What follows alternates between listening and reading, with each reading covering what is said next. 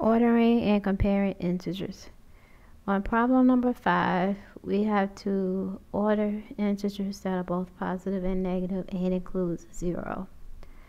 The integers that we have are 2, negative 9, negative 18, negative 6, negative 3, 0, and negative 7. I heard a student say the larger the negative, the farther it is from 0. So the larger negative is negative 18. So that's going to be the farthest from 0. Then the next largest integer is, the, the next largest negative is negative 9, followed by negative 7, then negative 6, then negative 3, and then 0 and 2. Now, if you did the other number 5, then we come over here and we look at the other number 5. The low temperature in Anchorage, Alaska one day was negative 9. On the same day, the low temperature in Flagstaff, Arizona was 26 degrees Fahrenheit.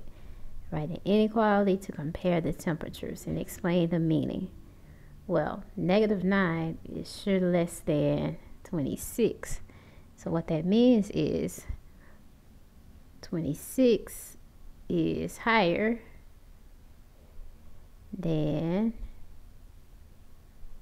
negative 9 or negative 9 is to the left of 0 and 26 is to the right of 0. The other two problems that we have to do are number 7 and number 8. So again, the larger the negative, the farther it is from 0. So the larger negative is negative 79, followed by negative 55, and then I see 18, 44, 101, and 143.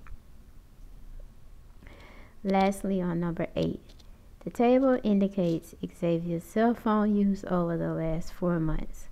Positive values indicate the number of minutes he went over his allotted times, and negative values indicate the number of minutes he was under. Arrange the months from least to most. Okay, look at that large negative. That's very low. So that's the least. Right?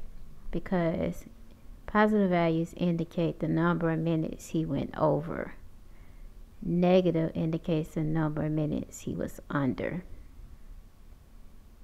So the least to the most minutes used. He was under, and then he was under, and then he did. He was just right in April, and then in March he went 12 minutes over. Ta-da! And that is our lesson on comparing and ordering integers. Next week, we move into rational numbers, the real stuff, the more complicated stuff, I should say.